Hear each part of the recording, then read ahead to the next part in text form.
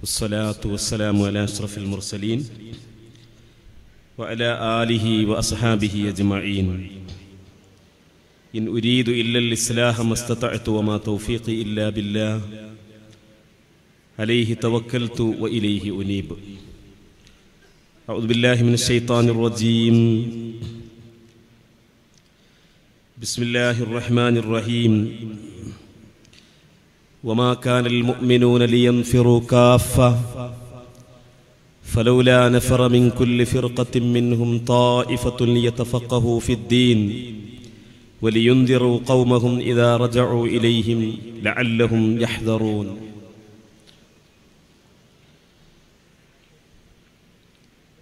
ബഹുമാനരായ ഈ വേദിയുടെ അധ്യക്ഷർ സംസ്ഥാന എസ് കെ എസ് എഫിന്റെ secretary P M Rafeeq Ahmed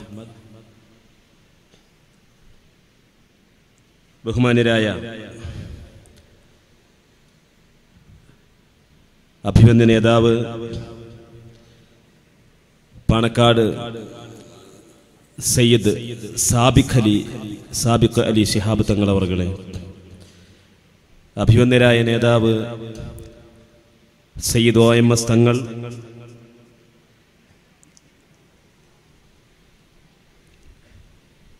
മറ്റു വേദിയിലിരിക്കുന്ന പ്രഗത്ഭരായ ഷഹീർ അൻവരി അതുപോലെ ഷമീർ ഫൈദി അബ്ദുള്ള ഫൈദി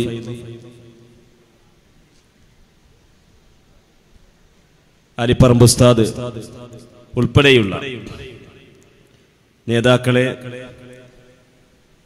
പണ്ഡിതന്മാരെ ഉമറാക്കളെ പ്രിയപ്പെട്ട അഹ്ലുസുന്നത്തുൽ ജമാഅയുടെ ഊർജസ്വലരായ പ്രവർത്തകന്മാരെ സഹോദരങ്ങളെ.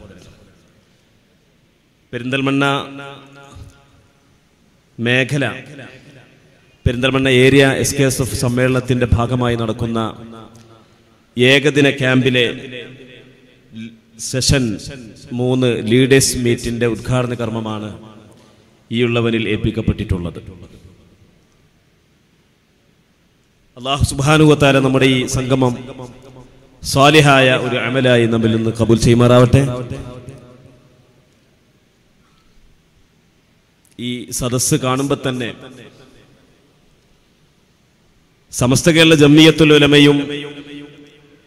അതിന്റെ പോഷക ഘടകങ്ങളും ആർക്കും തന്നെ അവഗണിക്കാൻ പറ്റാത്ത വലിയ ശക്തിയാണ് എന്ന് വിളംബരപ്പെടുത്തുന്ന സദസ്സാണെന്ന് മനസ്സിലാക്കാൻ സാധിക്കും സമസ്ത കേരള ജമ്മിയത്തുലമയും അതിന്റെ പോഷക ഘടകങ്ങളും ഈ സമൂഹത്തിന് എന്താണ് ചെയ്തുകൊണ്ടിരിക്കുന്നത്? ശരിയായ ദീനിന്റെ ദഅവത്താണ്.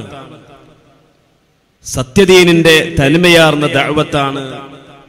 അതിന്റെ പ്രബോധന പ്രവർത്തനങ്ങളാണ് ഈ പണ്ഡിത സഭയും അതിന്റെ മറ്റു കൂട്ടായ്മകളും നിർവഹിച്ചു കൊണ്ടിരിക്കുന്നത് മഹാന്മാരായ അമ്പിയാക്കൾ ആ അമ്പിയാക്കൾ ഇവിടെ നിർവഹിച്ചത് പ്രധാനമായി ദഅവത്താണ്.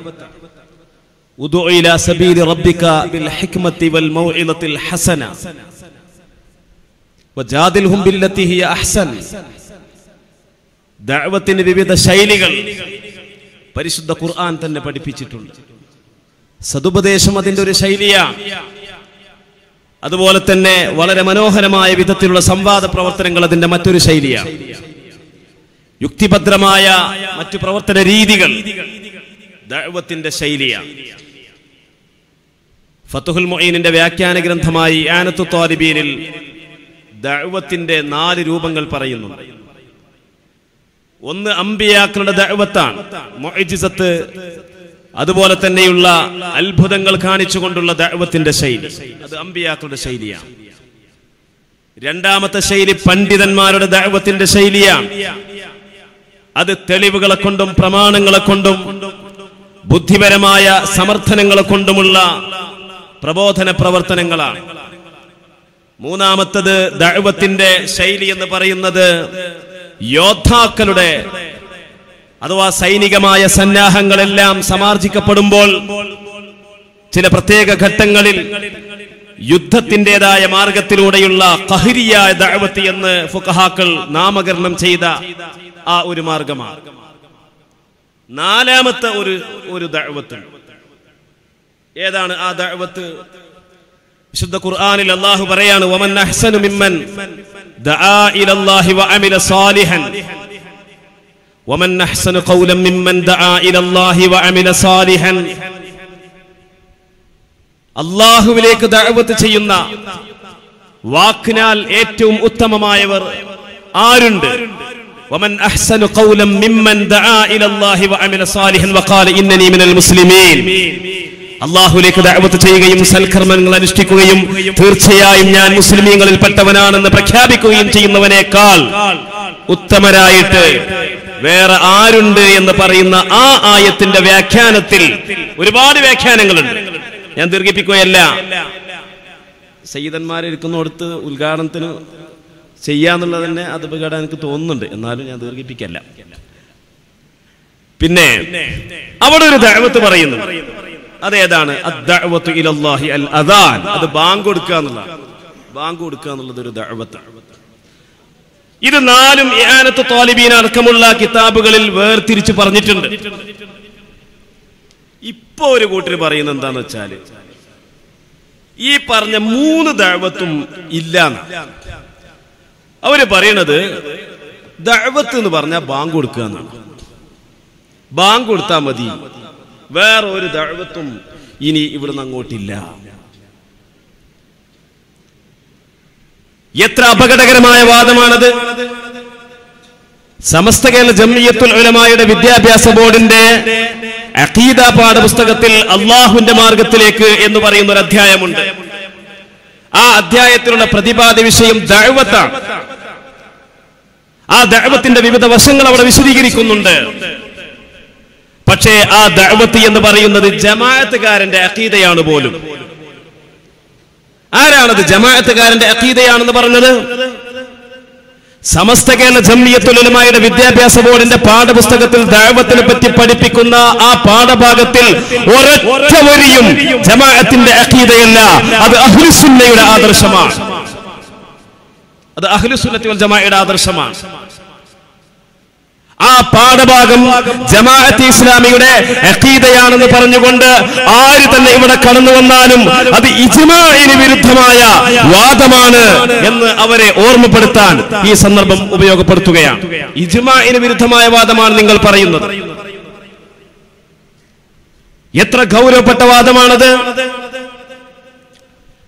മഹാനായ അലീബിൻ അബി താലിബ് റളിയല്ലാഹു അൻഹുവിനോട് യുദ്ധമുഖത്ത് വെച്ചുകൊണ്ട് അള്ളാഹു റസൂൽ നിർദ്ദേശിക്കുന്ന ഒരു വസീയത്തുണ്ട്. വാഹിദൻ خير ലക മിന الدنيا വമാ ഫീഹാ ഔ خير ലക മിൻ حمر النعم നീ മുഖേ മുഖാന്തരം ഒരു മനുഷ്യന് ഹിദായത്ത് കിട്ടുക എന്നുള്ളത് അത് ചുവന്ന ഒട്ടകങ്ങളേക്കാൾ ഒട്ടകങ്ങളെക്കാൾ നിനക്ക് ഉത്തമമാണ് എന്ന് പഠിപ്പിക്കുന്ന അള്ളാഹുന്റെ റസൂലിന്റെ ആ ഹദീസ്. ആ ഹദീസ് യുദ്ധമുഖത്തേക്ക് മാത്രമേ ബാധകമുള്ളൂ. സമസ്ത കേരള ജമ്മിയത്തുലമയുടെ ആളുകൾ മനസ്സിലാക്കിയതുപോലെ അത് പൊതുവായ ധർമ്മത്തിന് അത് ബാധകമല്ല എന്നാണ് ഇപ്പോൾ വിമർശനം. എന്നാൽ ആ വിമർശനം ഉന്നയിക്കുന്ന ആളുകളോട് എനിക്ക് പറയാനുള്ളത് ലളിതമായി പറയാനുള്ളത് നിങ്ങൾ റിയാദ് സ്വാലിഹീനിന്റെ ആമുഖമെങ്കിലും ഒന്ന് ഓതി പഠിക്കണം റിയാദ് സ്വാലിഹിന്റെ ആമുഖം ഓതി പഠിക്കണം റിയാദ് സ്വാലിഹിൻ എന്ന ഗ്രന്ഥരചനയ്ക്ക് മഹാനവറുകളെ മഹാനായ ഇമാം നവി തങ്ങളെ പ്രോത്സാഹിപ്പിച്ചത് ഈ ഹദീസാണ് എന്ന് ആ റിയാദ് സ്വാലിഹീനിന്റെ ആമുഖത്തിൽ ബഹുമാനപ്പെട്ടവർ പഠിപ്പിക്കുന്നു. അത് യുദ്ധമുഖത്തേക്ക് മാത്രം ബാധകമാണോ. ഇത് ഉമ്മത്തിനോടുള്ള ആഹ്വാനമല്ലത്രേ? ഹാജറുള്ളവർ അഭാവത്തിലുള്ളവർക്ക് എത്തിച്ചു കൊടുക്കട്ടെ എന്ന് അള്ളാഹു റസൂൽ ഹജ്ജത്തുൽ വദായിൽ പറഞ്ഞത്. ഈ ഉമ്മത്തിനോടുള്ള ആഹ്വാനമല്ല എന്നോ.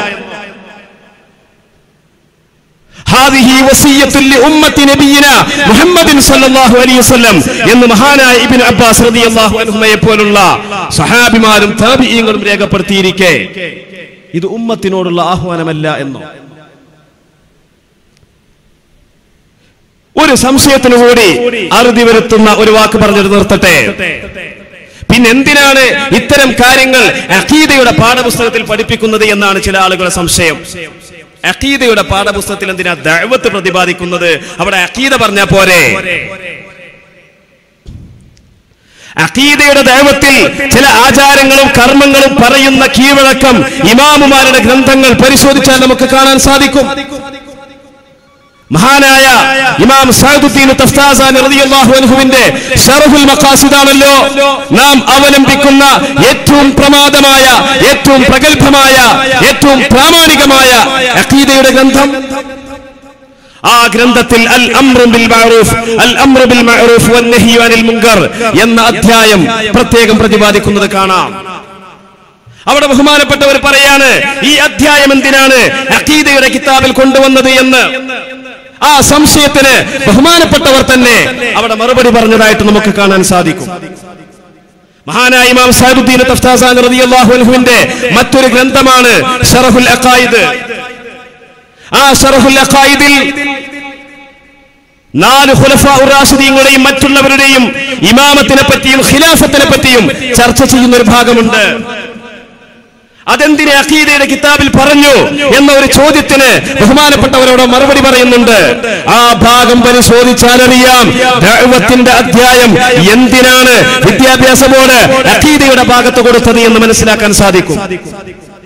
അതുകൊണ്ട് സമസ്ത കേരള ജമിയത്തുൽ ഉലമായുടെ പാഠപുസ്തകത്തിൽ കൊടുത്ത ദൈവത്തിന്റെ അധ്യായം ജമാഅത്തിന്റെ അതീതയാണ് എന്ന് ആര് തന്നെ പറഞ്ഞാലും അവൻ എത്ര വലിയ മൗലാനയായാലും ശരി ഞാൻ ഓർമ്മപ്പെടുത്തുന്നു നിങ്ങളുടെ വാദം നിങ്ങളുടെ ഈ ആക്രോശം നിങ്ങളുടെ ഈ ആരോപണം ഈ ജുമാഇന് വിരുദ്ധമായ മുസ്ലിം ലോകത്തിന്റെ അംഗീകാരത്തിന് വിരുദ്ധമായ പുത്തൻവാദമാണ് എന്ന് ഈ സന്ദർഭത്തിൽ ഓർമ്മപ്പെടുത്താനും ഉണർത്താനും ഈ അവസരം ഉപയോഗപ്പെടുത്തുകയാണ്.